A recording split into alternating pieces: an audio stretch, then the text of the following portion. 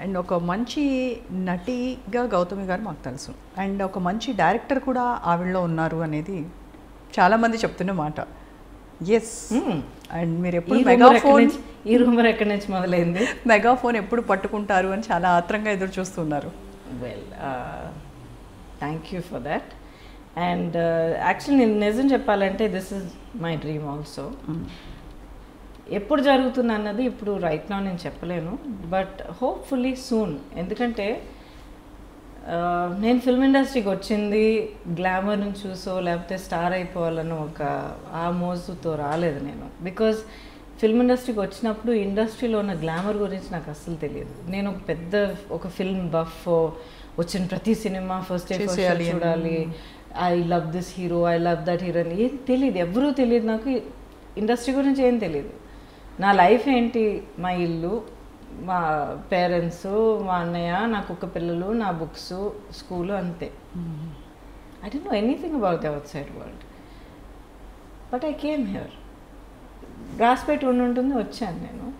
And once I came here ఈ మీడియంని చాలా ఇంకా తలకిందలు ప్రేమించడం మొదలుపెట్టాను అనమాట I just fell head over heels in love with the medium so screen ముందర కెమెరా ముందర నిలబడి ఎంత చాలా వరకు నేర్పి నేర్చుకోగలిగాను నేను.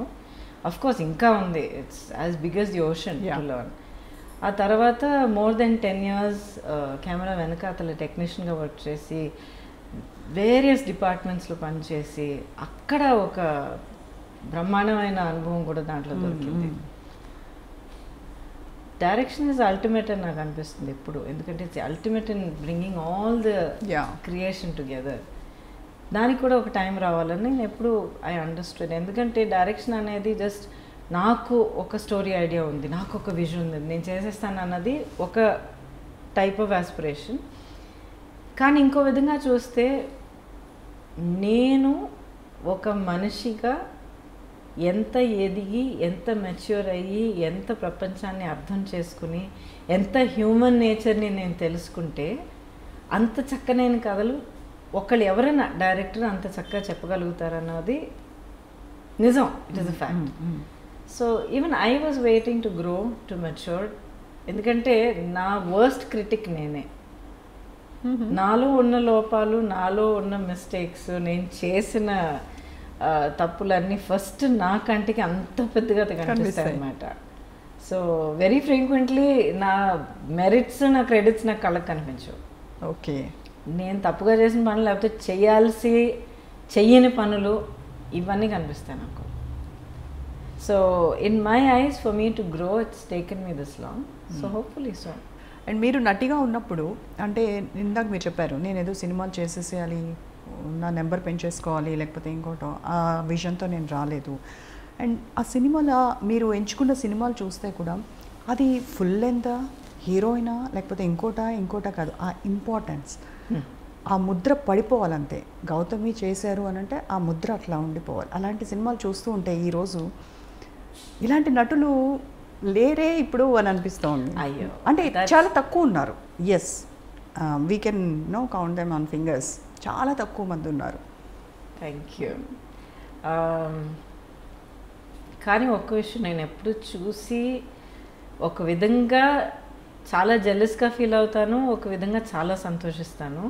తెలుగు ఇండస్ట్రీలో ఇప్పుడు మీరు చూసారంటే ఆర్టిస్ట్ క్యారెక్టర్ ఆర్టిస్ట్ కామెడీ అయినా ఏమైనా సరే ఎంత బ్రహ్మాండమైన టాలెంట్ ఉందంటే ఇంకా అయ్యో వీళ్ళకి ఇలాంటి క్యారెక్టర్ ఉంటే బాగుండు. వీళ్ళకి ఇలాంటి సినిమా తీస్తే. వీళ్ళకేమో ఇలాంటి కథ రాయాలనిపిస్తుంది అనమాట brilliant talent is they today in the Telugu industry yeah ఇండస్ట్రీలో ఎప్పుడు ఒక సార్ట్ ఆఫ్ ఒక సైకిల్లో వెళ్తూ ఉంటాయి అనమాట ఒక ట్రెండ్స్ వెళ్తూ ఉంటాయి. అది ఇండస్ట్రీలో కాదు ఆడియన్స్లోనూ సొసైటీలో ఉంటున్న సోషల్ ట్రెండ్స్ బట్టి. అండ్ ఆ టైంలో నేను బాగా తీవ్రంగా యాక్ట్ చేస్తున్న టైంలో ఏమో ఒక పాత ట్రెడిషన్కి కొత్త మోడర్నిటీకి మధ్యలో ఉన్న ఒక ఫేజ్. సో చాలా చక్కగా స్టోరీ బేస్డ్ మోడర్న్ కథలు చాలా రావడం మొదలుపెట్టాయి ఆ టైంలో. And I was very lucky I was blessed. ఇలాంటి మంచి క్యారెక్టర్స్ ఉన్న హీరోయిన్ రోల్స్ ఏమో నా దగ్గరికి చాలామంది తీసుకొచ్చారు. And good writers and you know good directors I got the opportunity so ఆ ఆపర్చునిటీ దొరికినప్పుడు నేను రెండు చేతులతో అలా గట్టిగా పట్టుకుని I work my heart out I know that even ఇప్పుడు కూడా శ్రీనివాస్ కళ్యాణ మూవీ చూస్తే దాంట్లో మీరు చేసింది చాలా యూనో చిన్న రోల్ అయినా కూడా ఇది గౌతమి తప్ప ఎవరు చేయలేరు. అంతే ఇంకా. అంత ఇంపాక్ట్ యూనో ఇప్పటికి కూడా ఉంది. నా క్యారెక్టర్ ఏదైనా సరే ఎప్పుడు కూడా "ఆ, సరే ఓకే షూటింగ్ అయిపోయింది ఓకే నెక్స్ట్ షూట్కి వెళ్ళాలి అనేది ఎప్పుడు అనిపించలేదు నాకు. ఎందుకంటే నేను ఇండస్ట్రీలో ఉండడానికి కారణమే ఆ ఎక్స్పీరియన్స్ కోసం. షూటింగ్ అయిపోయిన తర్వాత బయట దొరికే చప్పట్ల కోసం కాదు.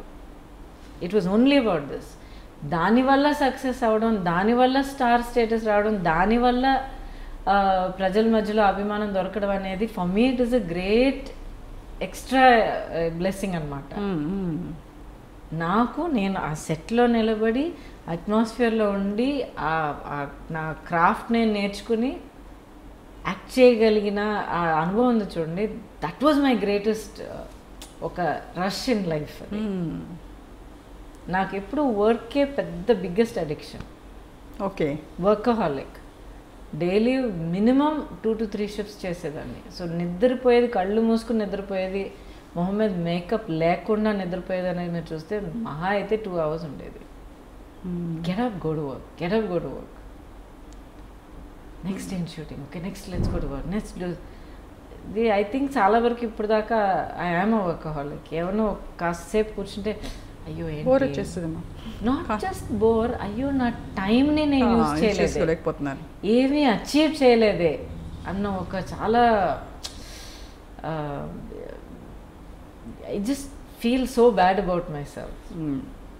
కొందరు చెప్తూ ఉంటారు మీ ఎలా రిలాక్స్ అవుతారు అంటే ఈ వర్క్ నుంచి ఇంకో వర్క్ షిఫ్ట్ అయినప్పుడు అక్కడే రిలాక్సేషన్ నాకు అని. Yeah. అది మీ దగ్గర నాకు కనబడతా. ఉంది నాకు రిలాక్సేషన్ అనేది ఇప్పుడు దాకా నిజం చెప్పాలంటే నాకు అర్థం కాలే I don't understand what it means to say just relax. Go for vacation okay తర్వాత హాలిడేకి వెళ్తాం ఇంకొక ఊరికి వెళ్తాం. తర్వాత? So you like what do you do okay time spend చేస్తాం ఒక నాలుగు కొత్త చోట్ల చూస్తాం.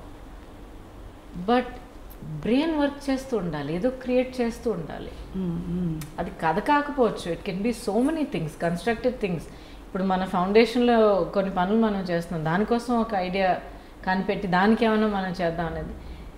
ఇట్స్ ఒక ఎప్పుడు చూసినా ఏదో ఒకటి నేర్చుకుంటూ ఉండాలి ఏదో ఒకటి కొత్తగా సృష్టిస్తూ ఉండాలన్న ఒక హంగర్ అనుకుంటా. I think it is only hunger that I have to constantly keep on feeding